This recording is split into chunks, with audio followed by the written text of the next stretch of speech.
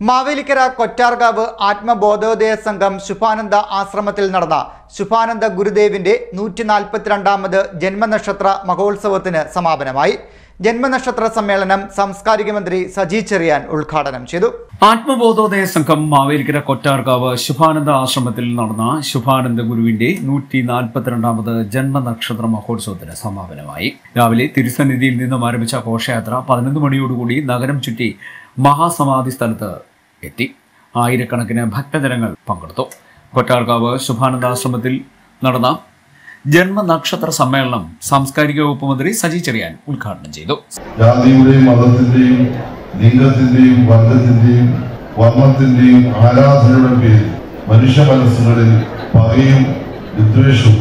അതുവഴി സമൂഹത്തിൽ അശാന്തി പടർത്തുവാൻ സംഘടിതമായ പരിശ്രമം നടക്കുന്ന ഒരു കാലത്താണ് ആത്മബോധ സംഘത്തിലൂടെ ജാതിക്കും മതത്തിനുമെതിരായി അടിബന്ധത്തിന്റെ ഒരു കാലയളവിൽ ഒരു സമൂഹത്തെ അടിബന്ധത്തിൽ നിന്ന് മോചിപ്പിക്കാൻ നടത്തിയ ശക്തമായ പോരാട്ടത്തിന് നേതൃത്വം കൊടുത്ത പരമഗുരുവായ ശ്രീ ശുഭാനന്ദ ഗുരുവിന്റെ പ്രവർത്തനങ്ങൾ എത്രമാത്രം നമ്മുടെ സമൂഹത്തിൽ സ്വാധീനം ചെലുത്തിയിട്ടുള്ളതിന്റെ ഏറ്റവും വലിയ തെളിവാണ് ഈ കൊടുവെയിലത്തും നിങ്ങൾ എല്ലാവരും ഇവിടെ ആത്മാർത്ഥമായി സംഘടിപ്പിക്കുന്നതും ഈ സമ്മേളനത്തിൽ പങ്കെടുക്കുന്നതും അതുതന്നെ നമ്മുടെ സമൂഹത്തിൽ എത്രമാത്രം ആഴത്തിൽ ശുഭാനന്ദ ഗുരുവിന്റെ ദർശനങ്ങൾ എത്തിയിട്ടുണ്ടെന്നതിന്റെ ഏക തെളിവ് കൂടിയായി ഞാൻ കാണുകയാണ്.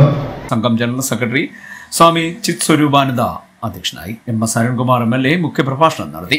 Kidney foundation of India chairman father Davis Cherumal ആത്മീയ സന്ദേശം നൽകി.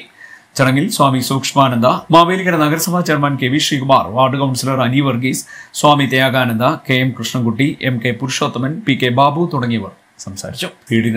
മാവേലിക്കര.